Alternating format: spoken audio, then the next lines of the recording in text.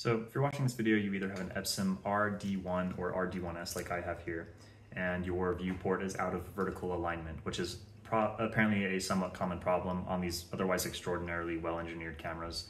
So I called a few different camera shops, camera shops to see what it would cost to get this repaired. To my surprise, a few actually declined to do the work at all. They referred me to some specialty shops, which all gave a somewhat reasonable, similar answer of we need to actually see it and dig into it to figure out what's wrong and how much that's gonna cost. Um, expect to spend anywhere from 200 on the low end to 350 plus, depending on what it needs. Um, not to mention paying for shipping, insurance, waiting several weeks in the repair queue, etc. I decided to take the chance and do this on my own, having zero experience working on any camera, so that's the caveat to this video. In my case, it worked perfectly. It saved me hundreds of dollars, weeks of time, and within you know a few minutes, I'm already shooting much better on this camera than I was prior when I'm working on more complex uh, focus subjects. So uh, feel free if you want to take this chance yourself. If you find that this saved you hundreds of dollars in time, uh, feel free to buy me a coffee. I'm going to drop my Venmo in the description below. I also want to say thank you to CameraQuest. I used their write-up um, and a write-up that they linked to also on CameraQuest on how the rangefinder works in order to tackle this on my own. This is uh, the most easy, least risky approach, which is just involving involving removing the hot shoe, not taking off the top plate, so if you want to give this a shot and it works for you, awesome. Um, and if it doesn't, this is a thing you're doing at your own risk. So good luck.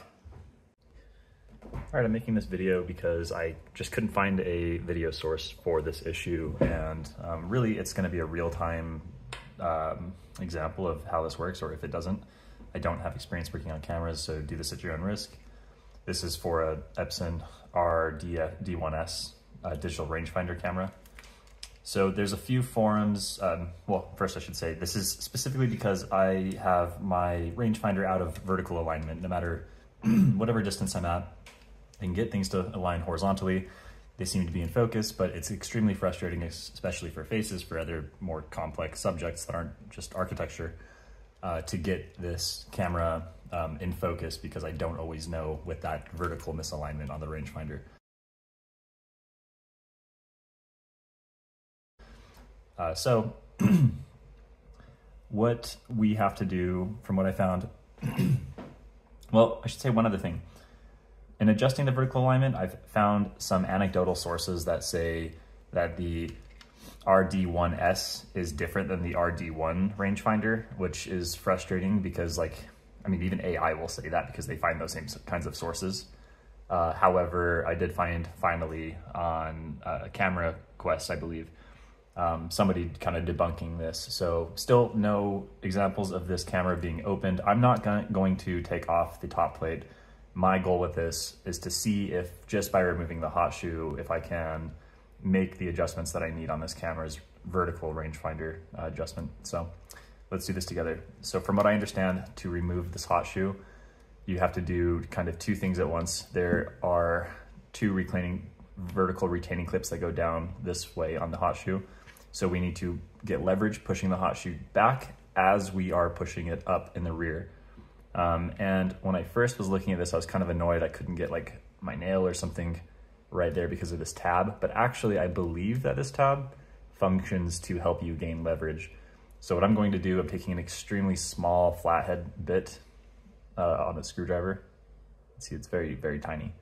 Um, I'm going to be pushing it in right into that spot so I'm just gonna go straight down into it. I'm gonna tilt it back, lever it, lever that hot shoe towards the rear of the camera. And as I'm doing that, I'm just gonna see if with my nails I can uh, lift up the rear hot shoe. So let's see if this works or not. Okay, so I'm in there. I'm gonna start levering back. I got, I get my nail under this hot shoe or not. Got my nail under.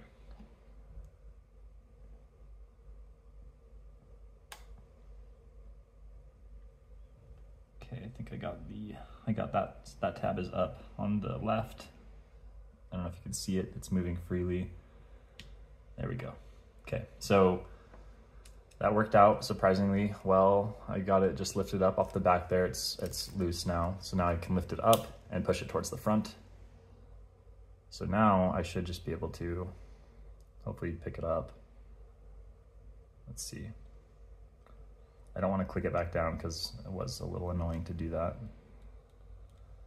It's loose here. I just, I'm gonna see if I can basically get all the way underneath that and just kind of kick it up from this area. So I'm gonna use a that longer bit again. I don't really have anything else here. So I think if I go down right here, actually, I'm just gonna try and lift it up. Those retaining clips still wanna hold it there.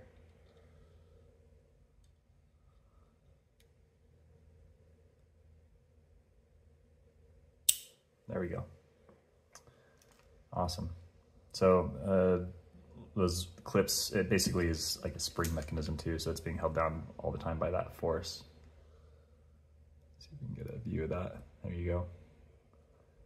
Okay, so as far as I know, that's the only, already this is the only video that shows you how to remove the hot shoe um, on this camera.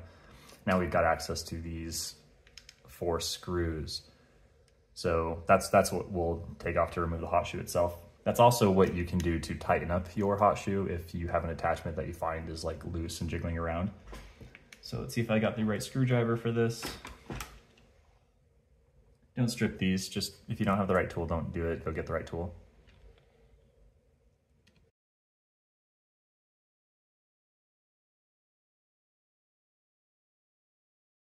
I got all four screws.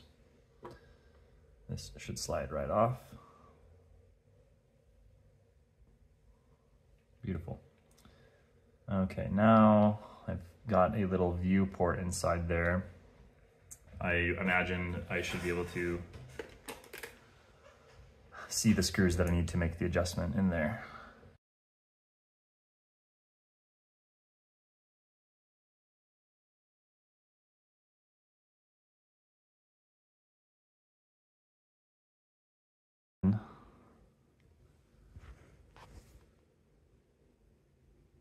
Okay, so we can see two screws there. That's the far left one. Um, according to CameraQuest, that one is the finder patch focus adjustment. This next one is the horizontal adjustment. And then that third larger screw that's slightly obscured, but we can still get to it, is the vertical adjustment for this camera.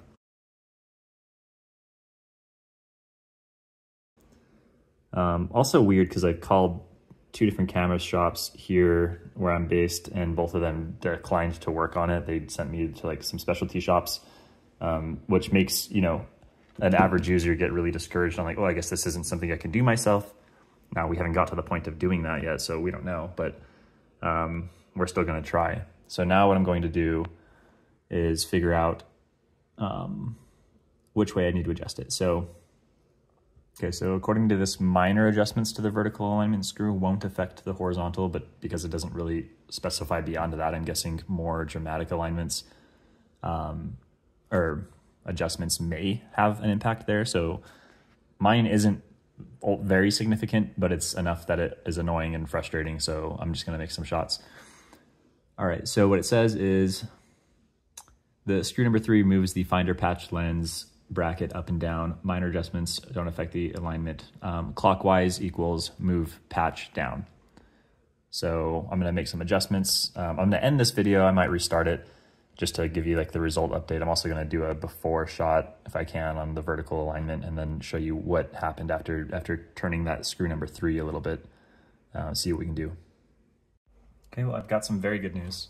Um, while that screw is the most awkward of all three to get to, it's not impossible um, I, I, guess I'm going to call this very mixed, very good news with a caveat. Um, it is still possible to get to this screw. It was a little tricky with these screwdrivers. Um, this might be what you have to use. You do need something really narrow. I ended up using this, which just barely is make, making the fit. If I needed to do this adjustment again in the future, what I'm going to do is actually just grind down this bit so it's all smaller, but I've got a lot more leverage on this kind of screwdriver. Um, you don't need to push hard. In fact, it's, it's recommended you don't push down on these screws.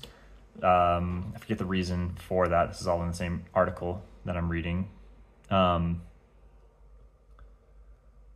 so screw number two apparently is uh, particularly sensitive to pressure. uh, the tension could cause the rangefinder patch to shift. So that's why you want to avoid pushing down. So if you can just get locked in and spin, that's what you want to do. The caveat here is that um, without a thread locking compound, and I guess you don't want to use anything stronger than Loctite green on this. The colors dictate the strengths. You know, red and blue and stuff like that could be for automotive, but green might be the most you would ever want to try on these. Because you can't actually remove screw number three completely with just the hot shoe access, uh, that may be the reason you want to take the hot plate off if you don't want to come back with this adjustment. Like if, if that one has any Loctite on there, it's possible that the elasticity of this compound could spin that screw back, moving me out of alignment. I won't know until I use this for a while to determine if that's going to happen in my scenario, but keep that in mind. So because my viewport was lower than my rangefinder, what I had to do is turn clockwise, or sorry, counterclockwise. Um, I it took more adjustment than I believed. This article says a couple of degrees will will make a significant adjustment. Uh, so I'm trying this at some medium ranges. I'm going outside and pointing at some far off objects closer to an infinity range. Uh, but a little bit of at first I just didn't think it was working because I wasn't seeing any adjustment happen. It's possible I might have just broke the Loctite, so I just got to keep checking this adjustment over the next couple days um, and see if it is there. And then I just got to hope it remains stable enough. If anything, it's just a lot better than it was. But you go in at this angle. I'm going to do one small tweak. I know you can't see what I'm doing, but just make sure you can see the screw. Don't fish around for random objects.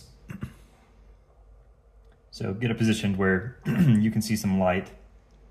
Screwdriver, get it lightly in there until you're notched into that slot. Use the right size flathead. Don't you know, strip an internal screw, give it some small spins, and then just put it up to a reference object, right? So when I started this, I was looking at a very specific object, and I was also gauging things around that object. So how far off was my viewport?